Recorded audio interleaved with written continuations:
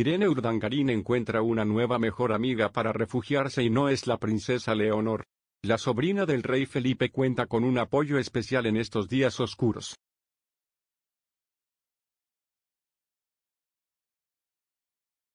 Si hay alguien que está pagando los platos rotos por el mediático divorcio entre Iñaki Urdangarín y la infanta Cristina es su hija mejor, Irene Urdangarín.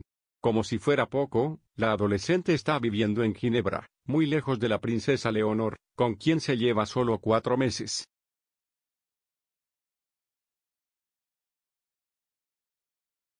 Sola y sin su prima, Irene Urdangarín hace frente al peor momento familiar que hasta ahora ha presenciado. La joven, según explica la periodista Pilar Er para Lecturas, se encuentra muy enfadada con su padre por la traición a la infanta, y la relación entre ellos sufrió un corte.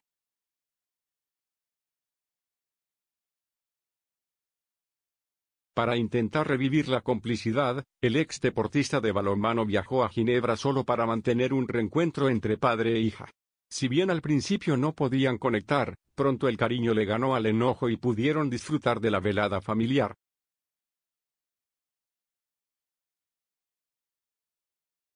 Irene e Iñaki tuvieron una cita ideal en las calles de Ginebra. Él la fue a buscar al colegio, pasearon y tomaron helado.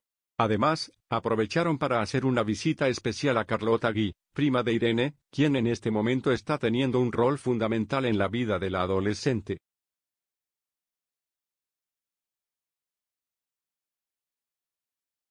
La sobrina de Iñaki, de 32 años, acaba de ser madre y, al estar instalada en Ginebra, le está poniendo una especial atención a Irene. La prima de la princesa Leonor está pasando por un proceso difícil con el divorcio de sus padres y, según él, cuenta con Carlota Gui para refugiarse cuando todo se pone oscuro.